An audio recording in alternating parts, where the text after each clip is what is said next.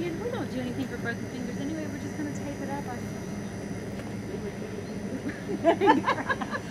Turn me I'm gonna into tell you one thing. But- That two seam fastball was gonna be wicked. So um, anyway, we um, got it all hooked, and he's on antibiotics. But I just went to pick him up. You know, I was like, Yeah.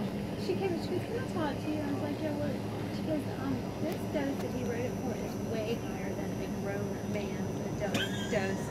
because they wrote it wrong. I got called the ER.